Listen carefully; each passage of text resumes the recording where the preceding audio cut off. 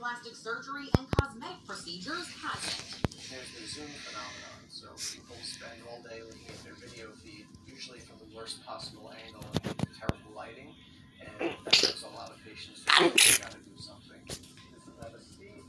18 year old Olivia Silverstein broke her nose playing soccer.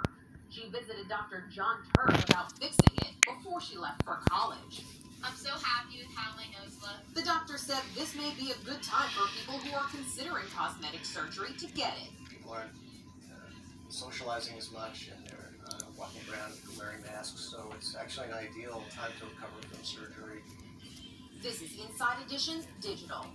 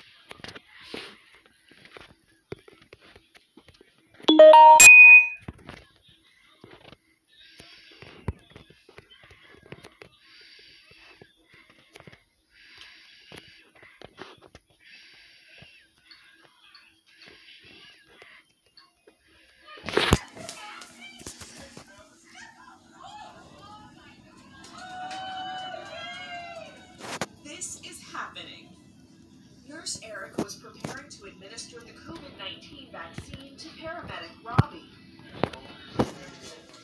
What he wasn't expecting was a proposal from his longtime love. I told him he'd never be able to surprise me, and he completely proved me wrong. I knew I wanted to do it for quite a while. I just needed kind of the right moment to do it. I knew probably four months in that I wanted to marry him. When I found out that he was going to be doing the vaccines, I was like, oh, that would be kind of fun to tie in. Um, you know, because it was the end of the year, kind of, you know, hoping to be towards the end of the pandemic. Really, like, signified, like, oh,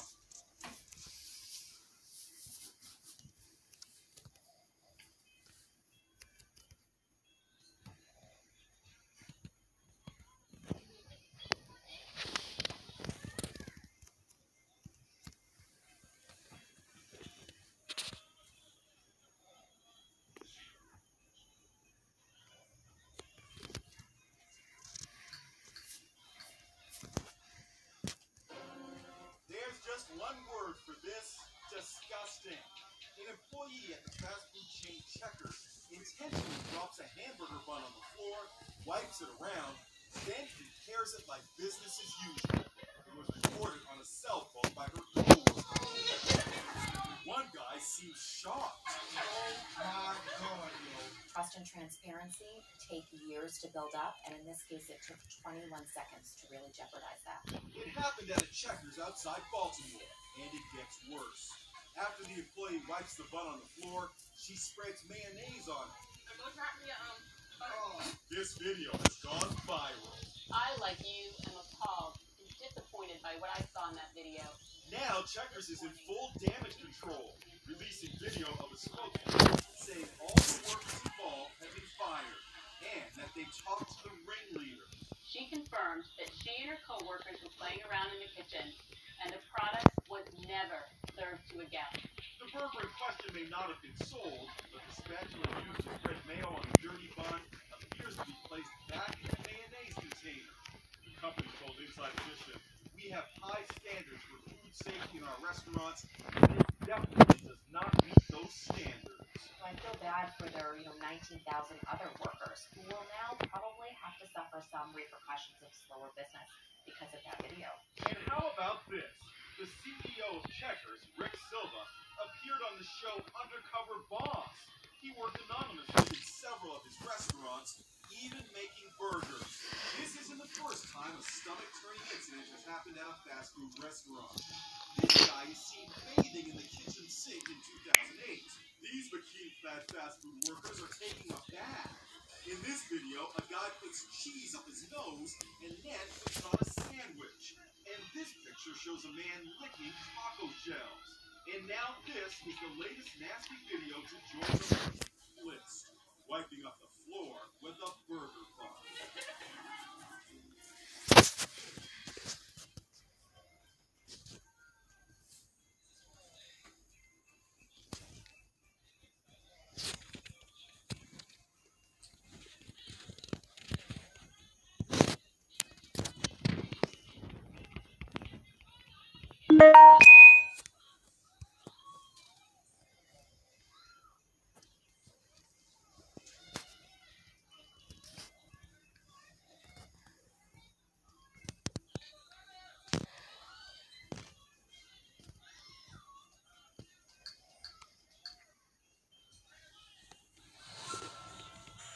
I'm mad. I'm hurt.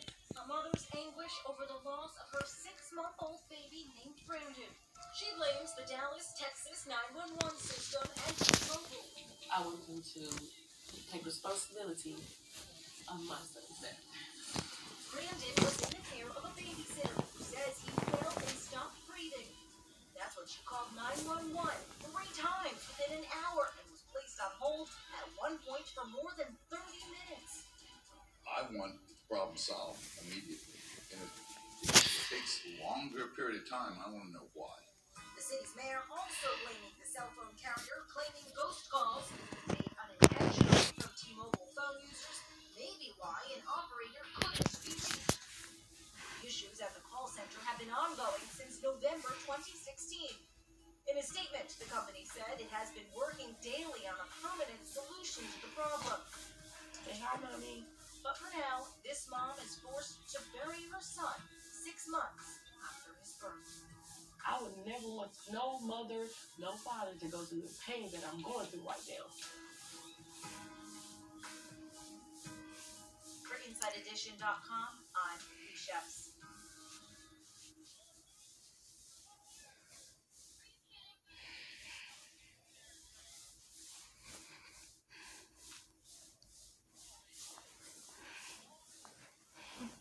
More than 100 taking to the road this holiday season. These parents are warning about a little known danger involving car seats.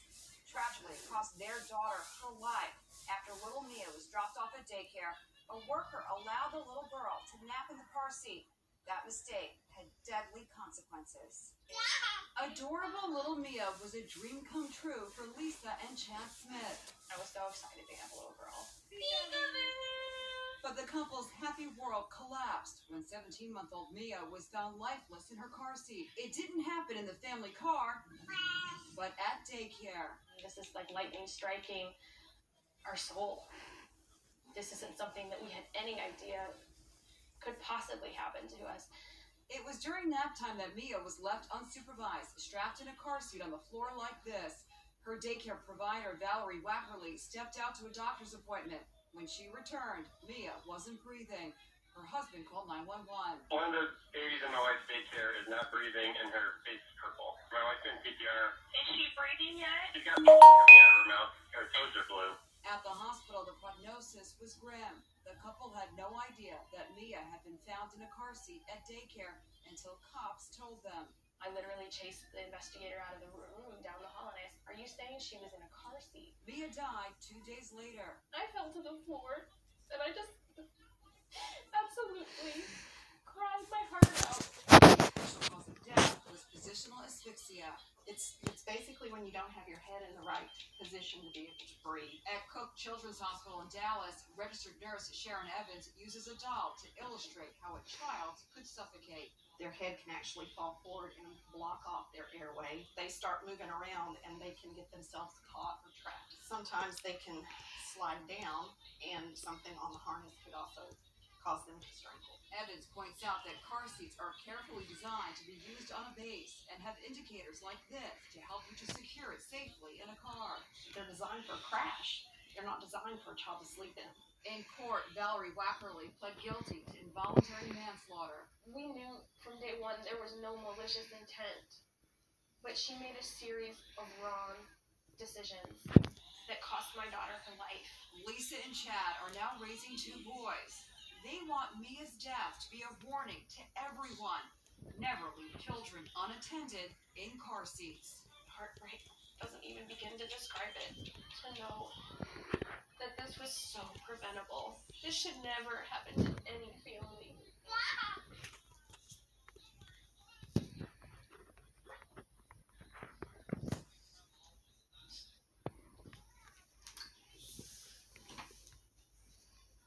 And I just wish people were more respectful. Millie Bobby Brown recounted a distressing encounter with a fan to her almost 40 million Instagram followers. I asked her, she said, so I can't take a video of you with me? And I said, no, nobody said no. The 16-year-old star of Stranger Things and Enola Holmes got emotional, describing how a person continued videotaping her while out shopping with her mother, even after Millie asked her not to.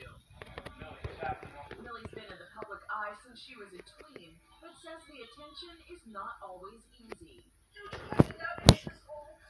Still overwhelming. Millie has fans buzzing because around the same time as the disturbing video incident, she quietly deleted her TikTok account, where she had over 16 million followers. Millie says she does know her rights. At the end of the day, I don't need to justify it to anyone. If I don't want to be taking a video of, I don't, I don't have to be. Millie used Insta stories to assure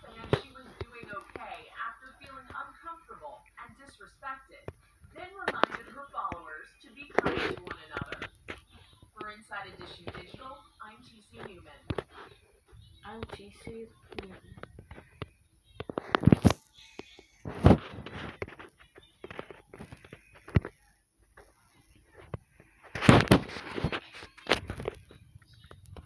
Adjustment study reveals that each year about 3,800 people go to the emergency room for pizza-related incidents.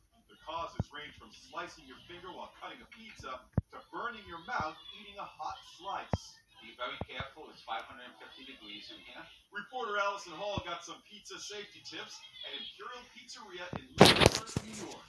Tip number one, be very careful around a hot oven. Probably where a lot of these injuries occur is burning from a hot oven like that. Correct, correct. So you're, you're always careful, always cautious. Tip number two, let the pizza cool down before cutting in. What happens is the cheese and the sauce is extremely, extremely hot. If that cheese or sauce gets on your hands, you will have second degree burn. You're ready to eat because again, it's not jiggling. It's the sauce and the cheese has solidified a little bit. Uh, the crust has cooled down a little bit. And again, just take a simple little bite. Don't shove a big chunk of pizza in your mouth and gobble down. I know you're hungry. I know you want that pizza. You're dying to have it. Okay. And then just a little bite to test it. Correct. Do I need to blow on it or anything? If you like. okay.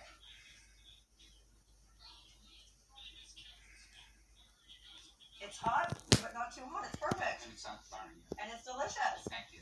Tip number three, use a pizza cutter so your fingers won't get sliced. So now this is how we take the pie out of the oven. Again, you'll see it's still jiggling, it's still hot, and we'll place it into a box. A lot of people make a mistake. I cut the pizza, I give it to the customers, and this is what they do. They'll bring it up as a, as a suitcase or And put lean it and lean it. And what happens, a lot of hot sauce or cheese can get on them and we'll burn them. Pizza isn't the only surprising food sending people to the emergency room. Topping the list of dangerous foods is fish. More than 15,000 injuries a year. Also on the list, can you believe? Cake. Cake sends 1,700 people to the ER each year. Hamburgers lead to about 2,100 injuries a year, usually from people trying to separate frozen patties. Cheese, yep, cheese sends 3,700 people to the hospital. Blame the cheese grater. Stephen Colbert cut himself using one during a cooking segment. Chef Frank Proto from the Institute of Culinary Education shows us the safe way to handle these foods. I find when you put too much pressure like this, you can easily slip and break your hand. One thing that I do to ensure that I don't get cut is I will lay my grater on its side and lightly push away from myself. And those frozen burgers, put the knife away. I find that if you just take the two burgers and tap them, they usually fall apart. So stick, be safe, and don't end up in the hospital. That's amazing. Wow.